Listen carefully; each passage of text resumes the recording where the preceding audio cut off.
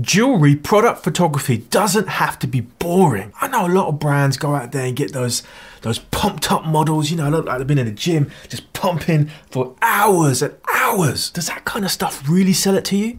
I mean, I don't look at that and think, you know what, I gotta buy that necklace. It just does not attract me. I mean, look at me. Does it look like I have a six pack? No, I've not had a six pack in 10 years. I'm a firm believer that every product should tell its own story. So in today's video, I'm gonna show you how to build a story around a product and give it some life. Let it live! We're gonna be turning this into this. Let's do this!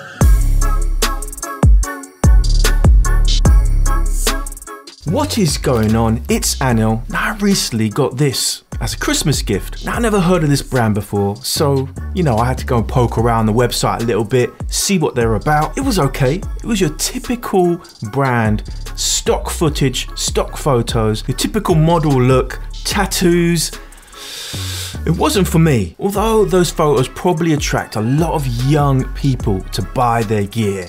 It just wasn't for me. I'd never picture myself wearing their jewelry based on what I was looking at on their website. And you know what? That's okay because I'm not the target market. I'm just too old. But what if I could be? Now I know a lot of you have been asking me to do a tutorial on how to shoot jewelry with your iPhone. So you know what? Today is the day, you lucky lot. We're basically gonna take this piece of jewelry and turn it into something that will make me instantly whip out my credit card and part ways with my hard earned cash. So the first thing we need to do is we need to create a backstory. We need to give this piece of jewelry an identity. So looking at this chain, it's got a nice little compass design on here. I'm already thinking of a theme, explorer, danger, a bit of a risk taker, mystery. I'm thinking this could be a timeless piece, so a vintage theme could be awesome. See how things just pop into your head? They just flow. The only limitation here is you and your creativity. Just let your mind flow. Ideas will pop.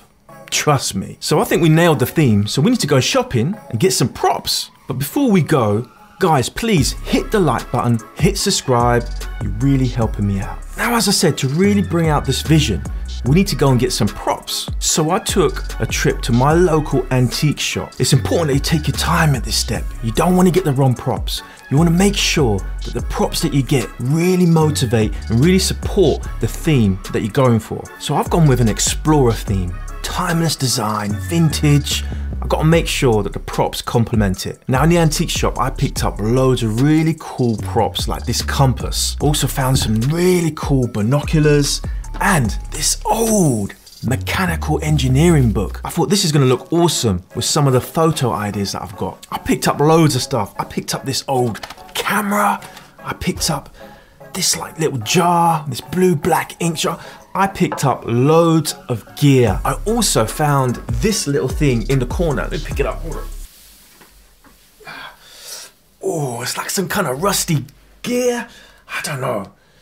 It's heavy. Going to the antique shop, ah, I love it. I love it. Right, we got our props, we got our theme nailed. We need to start building this set. Now I'm gonna use a black background for this shoot. I have this big roll of photography black background paper. It's mainly used for portrait shots, but it's gonna be perfect for what I want to do here. Now you don't need to go to this expense. You can get anything, a black wall, you can just hang a sheet up if you want. I had this lying around so it was just it was just perfect for me right now. It just needs to be black. It just needs to be nothing. It's also important that you have some depth. You want to keep that black background as far away from your subject as possible. The separation that I got is about a meter from my black background to where I've got my subject and my props. The bigger the distance, the better, because you want to reduce the amount of reflections that you're getting on your background. Now it's time to organize your props. I used an old rustic table that I already had lying around from previous photo shoot. Perfect for what I'm doing today. With that in place, it's time to just lay out your props. Be creative, move things around. Try and find great little angles, little places to put things. Think about all the different types of shots you can make. I'm constantly moving things around, playing with my props. And don't worry about getting a perfect placement every time. You're at home, no one's bothering you. You can take some photos, move some props around, play with the light, take some more photos, take your time and don't worry about getting that placement right first time. So, lighting, which is probably the most important part to any photo shoot. Now, if you know my channel, you watch my videos, you know I'm a massive fan of natural light. But today, I want a little bit more control. I'm gonna be using my trusty Godox SL60W for my main lighting source. I'm gonna have it at an angle because I wanna sweep that light across, create some interesting shadows. I don't want it to be flat and dull. I'm also going to use a couple of pocket video lights. I want to play around with some colors, some warm hues, move it around, see what kind of interesting shots I can get. I also picked up an old vintage lamp. I thought it'd be cool to have a little bit of a warm vintage glow over my scene. So I think we're ready to take some photos. So for the photo shoot today, I'm gonna show you two different photo techniques, two different styles that you can execute easily with an iPhone. The first one is your flat lay shot. That's a lifestyle shot, facing down, interesting props, showing the environment and highlighting the product. And the second shot is what I call a focus shot. And that's all about getting really close and showing a lot of detail. So for the flat lay shots, I want full manual control over my camera settings. I'm not gonna get that with the standard camera app, so the guys over ReeFlex have built an awesome,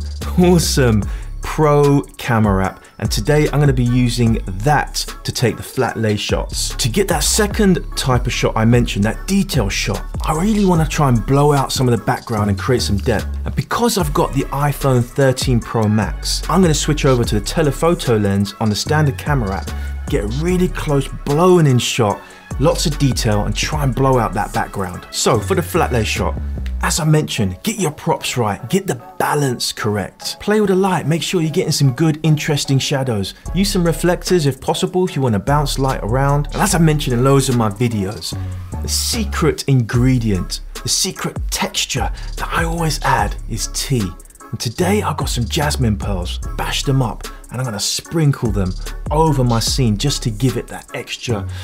Hmm, when you're taking a photo, make sure you're really taking advantage of the manual control that you have. Now I'm not gonna go through all the details of all the manual controls. I've got a separate video coming up where I'm going to take a look at the ReeFlex app in a lot more detail for you guys. Like I mentioned before, I've got some pocket lights, so I want to play with the hues a little bit. Jewelry is also highly reflective, so actually playing and moving little lights around can really change the scene. Take a few photos, move the light, change the hue, different shadows, play with the light, move it around, take as many photos as you can.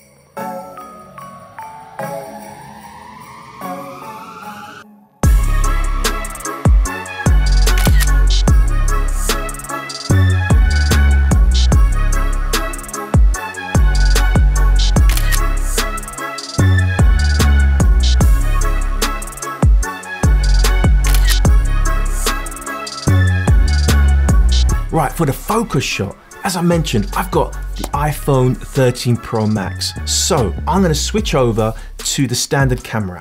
I'm gonna flip my phone around because I want the lens at the bottom so I can push in to the subject. So I'm gonna play around with the scene here. I'm gonna move the props around. I really want that necklace to dangle. I wanna punch in and get a really good detailed shot. Like I mentioned before, just play around, move things around, just play around with it. Once you're ready, load up the standard camera app, telephoto lens and just punch in slowly. As you punch in, it might switch over to macro mode. All you need to do is tap on that little macro button. You can turn that off and there you go. You can now blow out the background, get really close and snap a detailed shot. And like I said, don't just settle for the first shot. Play with the scene, move things around, take as many shots as possible.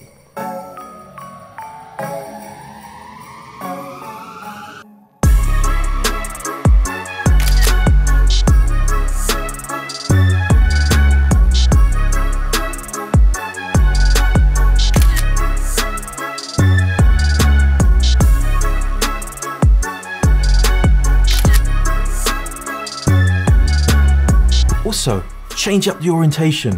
You know, landscape, portrait. You never know what kind of photos you're gonna need later, so just cover them all in the photo shoot. Right guys, I'm gonna take you through a very quick edit using Lightroom Mobile. So you can see here, we're gonna play around with some of the settings. I'm gonna go to light. I'm gonna bring that exposure down a very, very little bit.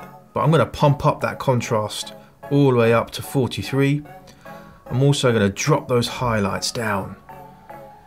59 maybe, somewhere around there. Yeah, that looks good. Shadows, yeah, I'm to drop those shadows down, maybe to 33, 34. Yeah, that's looking good. And also reduce some of those blacks. Yeah, I really want to bring out that darkness in the back. Really make that back black. Make everything pop, extra contrast. Yeah, it's looking good. It is looking good so far. Right, let's go to the color tab. Yeah, I'm pretty happy with the temperature of this picture. So I'm not gonna mess around too much with this tab. No, I'm good. I'm good with this one. We're gonna go to the effects tab and I'm gonna mess around here, guys. You know I always mess around here. I'm gonna pump up that texture, maybe 17, add a bit more clarity. Again, I like things to pop. 25, that looks good. Let's add a bit of vignette. Let's drop that in here as well. Let's go up, let's be 46. It's a little bit aggressive, so let's change the midway point down to around, yeah, 27. And then let's get that feather going. Just a little bit, yeah. Bring those highlights up a little bit. 29, that's looking good, that's looking good. Mm, grain, yeah, I'm thinking, you know, vintage, let's add a bit of grain to it. Not too much, 13. Yeah, that's that's looking good, that's looking good. Right, let's go to detail now. Do we want to add anything? I'm just going to maybe sharpen it slightly. Just slightly. 58, that's looking good. Not going to mess around with anything. Maybe just add a little, a little bit of mask in there. There we go. I think I'm pretty happy with that. That's looking really, really good. I'm going to export that now to my camera roll. Once that's done, I'm going to go over to PS Express. So once we're in PS Express, I can tap on overlays. I can scroll over to smoke and all of these different smoke effects I can add in. So I want to find, try and find something not too distracting. Yeah, something like that. It's a little too harsh at the moment, so I'm going to bring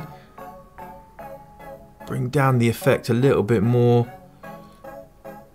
Also, it's covering too much of the uh, chain, so I'm going to actually just kind of move this around a little bit. Uh, actually, what I want to do is rotate it. Can do that, that would be awesome. So, here we go. So I'm to rotate that effect a little bit. Just to put it to the left. There we go, maybe zoom it. That's it. Maybe there. That is looking amazing. Just drop it out slightly. Want to make it look as natural as possible. Wow, now look at that guys. Simple little edits on the photo. Nothing too complicated. Export that now. Save it to my camera roll and wow, that is looking pretty good.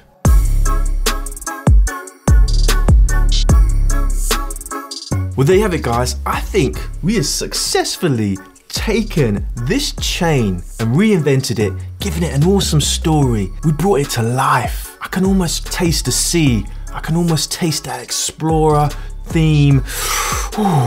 Guys, don't hold back. Let your creativity spill over, spill over and over. You can never have too much creativity in your veins. Don't ever settle for those catalog shots. They do nothing for nobody. So guys, thanks for watching. Check out these other videos and I'll see you in the next one. Aye, aye, Captain!